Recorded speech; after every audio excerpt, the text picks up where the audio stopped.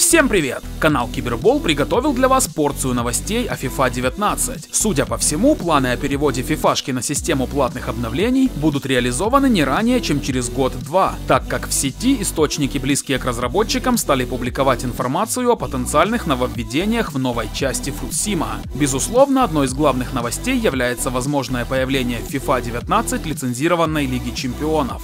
Главный европейский клубный турнир с 2009 года имел эксклюзивный контракт с Konami и появлялся лишь в Pro Evolution Soccer, в то время как любители FIFA вынуждены были довольствоваться его вымышленными внутриигровыми аналогами без привычной символики, гимна и прочих атмосферных составляющих. Контракт УЕФА с японцами истек в ноябре текущего года, и стороны продлевать его не стали. И тут уже вовремя подсуетилась EA Sports и вступила в переговоры по поводу лицензии на Лигу Чемпионов. Сделка близка к успешному завершению и контракт может быть заключен в ближайшее время. Не исключен и компромиссный вариант, при котором Лига Чемпионов будет и в FIFA, и в PES, что в принципе будет только на руку любителям футбольных симуляторов по обе стороны баррикад.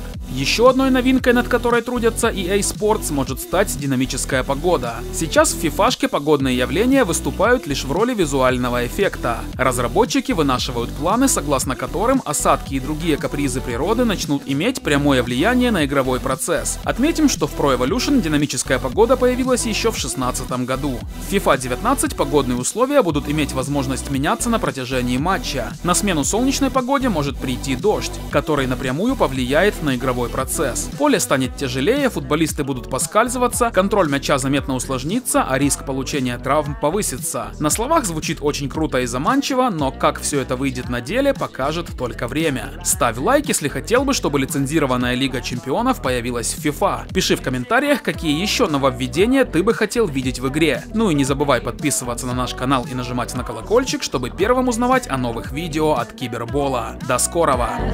Things in life will always settle down. And if they don't